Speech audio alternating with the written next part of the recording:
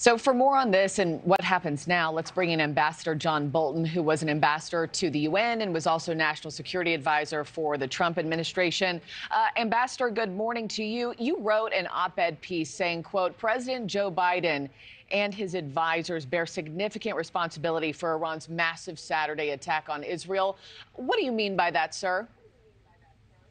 Well, I think there are two points. Number one, from uh, uh, from October the 7th forward, uh, the administration has refused to recognize that what Israel faces uh, is not just an attack from Gaza by Hamas, not just a series of isolated threats from others, but a direct war waged by Iran on Israel using all of its terrorist proxies, Hamas, uh, Hezbollah, the Houthis, uh, Iraqi and Syrian Shia militia, uh, and now 320 plus. I've heard up to 400 uh, missiles and drones. In fact, I've heard that actually uh, hundreds more were launched, but blew up on the launch pad or never made it far enough to be intercepted by American and uh, Israeli defenses, some, something that's worth checking out. This is a huge threat that Israel faces, and Biden has never understood that strategic context. And number two, uh, factoring into Iran's decision to launch that attack uh, on Saturday night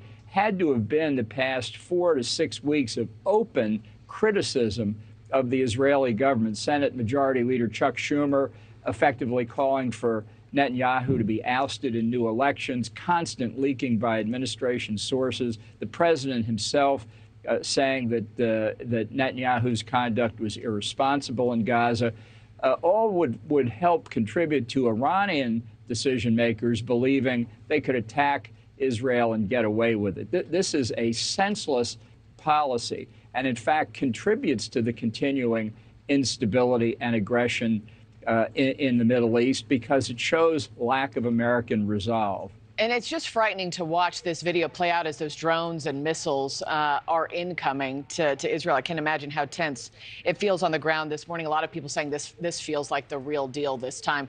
Biden meeting with G7 leaders on Sunday, sharing their support for Israel, but pushing for no further escalation. Biden telling Netanyahu, we're not going to help in any counterattacks here. How can Israel respond without threatening to widen war within the region? What needs to happen now? Well, it, has been in a wider war since October the 7th. And, uh, you know, this is like saying, think back, uh, not quite the, the same situation, but think back to Pearl Harbor, December 7, 1941. Uh, we're attacked by Imperial Japan, and our friends and allies say, now, you know, don't retaliate, don't risk a wider war, forget about it.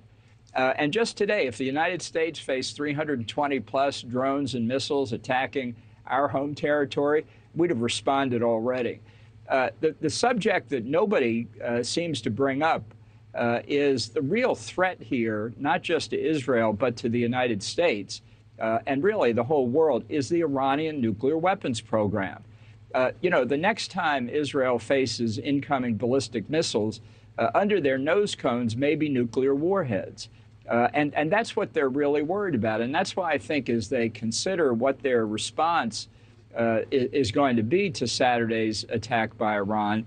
Uh, it's that nuclear threat that's uh, uppermost yeah. on their mind and, and should be. Yeah, we know Israel right now uh, weighing their options, what that counterattack should look like as they look to, quote, exact their price on Iran. Even China saying that they were, quote, deeply concerned over escalating tensions here. Ambassador John Bolton, always good to have you. Thank you, sir.